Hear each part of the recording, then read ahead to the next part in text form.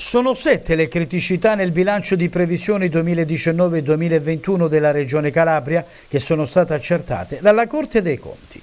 Il dato emerge da una deliberazione adottata nei giorni scorsi dalla sezione di controllo della magistratura contabile calabrese all'esito di un'istruttoria che ha seguito vari passaggi, tra cui la richiesta di chiarimenti alla Regione Calabria e la trasmissione da parte della Regione delle proprie controdeduzioni. Le criticità riscontrate riguardano essenzialmente il settore della sanità. In particolare, con riferimento al bilancio di previsione 2019-2021 della Regione, la Corte dei Conti ha anzitutto registrato la mancata adozione del piano degli indicatori e dei risultati attesi di bilancio, il mancato rispetto del quadro normativo vigente in materia di programmazione degli investimenti nel settore sanitario, la mancata adozione del bilancio consolidato del Servizio Sanitario Regionale,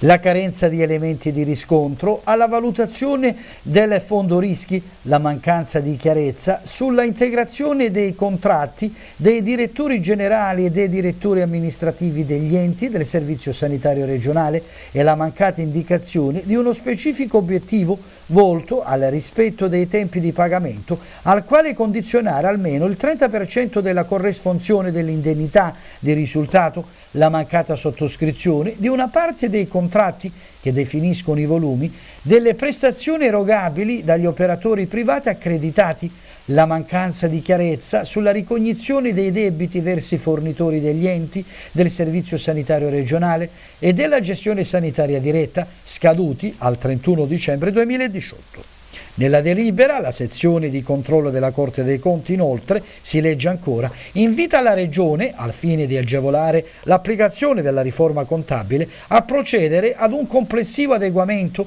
della normativa regionale della recente riforma in materia di armonizzazione contabile dei bilanci pubblici.